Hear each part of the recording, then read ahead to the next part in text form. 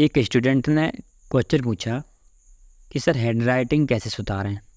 Sir, मेरी ये hand writing अच्छी नहीं है और जिसके कारण मेरे नंबर कम आते हैं। मैं परीक्षा में अच्छा परफॉर्म नहीं कर पाता हूँ और मेरे नंबर और बच्चों की अपेक्षा कम आते हैं। तो मैं क्या करूँ? तो ऐसे ही प्रश्न आप सभी के भी हो सकते हैं। अगर आप स्टूडेंट हो या कहीं किसी ऑफ़िस में काम करते हो अगर आपकी हैंड राइटिंग सही नहीं है तो शायद आपको बहुत सारी समस्याओं का सामना करना पड़ता होगा। तो हैंड राइटिंग एक ऐसा टूल है, जिसकी हेल्प से आप जल्दी से सक्सेस पा सकते हैं। अगर आप स्टूडेंट हैं तो आपकी हैंड राइटिंग अच्छी होना बहुत ज़रूरी है, क्योंकि हैंड राइटिंग अच्छी होने से ही हम कॉपी पर अच्छा लिख पाते हैं, और जिससे क्या होता है कि हम उसे पढ़ने में भी हमें आसानी होती है। और जब एग्ज़ाम होते हैं तो एग्ज़ाम में हैंड राइटिंग के ही नंबर मिलते हैं। हैंड राइटिंग अगर आपकी अच्छी है, सही लिखा है, साफ़ सुथरा लिखा है तो आपको नंबर ज़्यादा मिलने की संभावना है। आइए इस वीडियो में हम जानते हैं कि हैंड राइटिंग को कैसे सुधार सकते हैं। अगर आप लोग नए हैं तो चैनल को सब्सक्राइब करें वीडियो को लाइक करें और कमेंट करके ज़रूर बताएँ कि आपकी हैंड राइटिंग कैसी है। तो चलिए वीडियो को स्टार्ट करते हैं। तो पहली टिप्स है, daily write a page means आपको रोज़ाना एक पेज लिखना है। कुछ भी हो जाए, किसी भी स्थिति में आपको डेली एक पेज लिखना है, पर डे का एक नियम बना लीजिए कि मुझे एक पेज डेली लिखना है। अगर आप ये नियम बनाते हैं तो आपका जो लिखने की कला है या जो आपका हैंड राइटिंग स्किल है वो आपकी बढ़ जाएगी, क्योंकि इसमें आप डेली समय दे रहे हो। तो जो दूसरी टिप्स है use the right tools tools से मतलब है कि आप जब राइटिंग कर रहे हैं तो आपको सही इंक पेन का यूज़ करना ज़रूरी है। जैसे आपका इंक पेन होगा, या फिर आपका जो पेज है, या जो आपकी कॉफ़ी है, जो भी जो चीज़ें आप यूज़ कर रहे हैं वो एकदम सही होनी चाहिए। आप ऐसा पेन यूज़ करें जिसे पकड़ने में आपको आसानी हो। आपको ज़्यादा उसे टाइट ना पकड़ना पड़े। आपको उसे पकड़ने में और उससे लिखने में आपको बिल्कुल आसानी हो। ऐसा पेन आप यूज़ करें। जो तीसरी टिप्स है maintain proper posture and grip जो भी आप लिख रहे हैं तो अब जिस स्थिति में हैं, वह स्थिति आपकी कैसी है? आपका बैठने का तरीका कैसा है? आपका पोस्चर कैसा है? और पकड़ने का ग्रिप जो तरीका कैसा है? ये आपका सही होना चाहिए।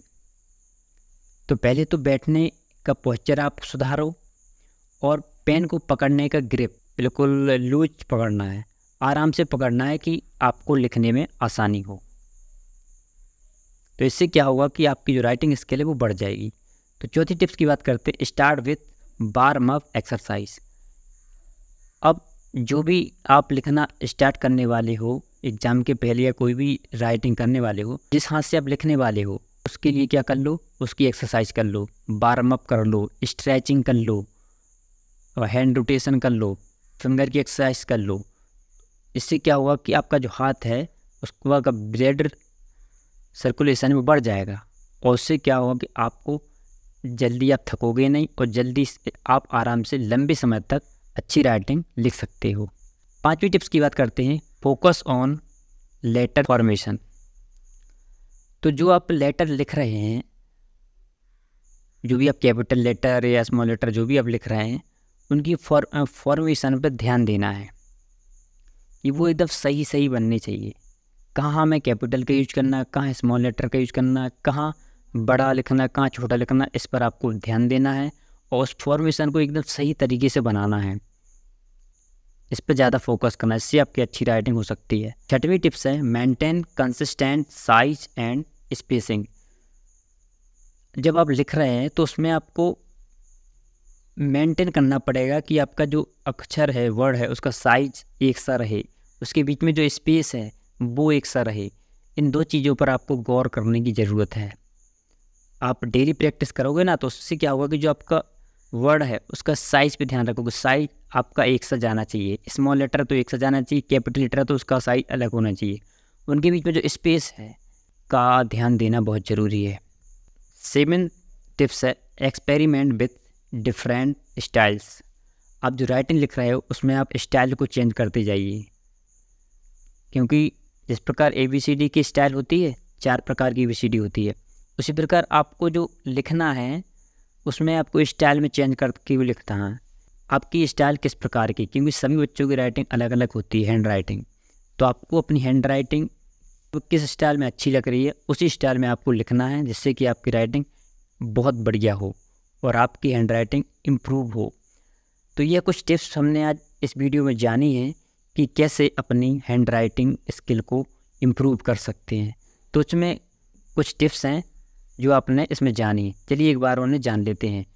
पहला है daily write one page second use the right tools third maintain proper posture and grip third start with warm up exercise fifth focus on letter formation six maintain consistent size and spacing and seven experiment with different styles अब आप comment करके बताएँ कि आप इनको follow करने वाले हो।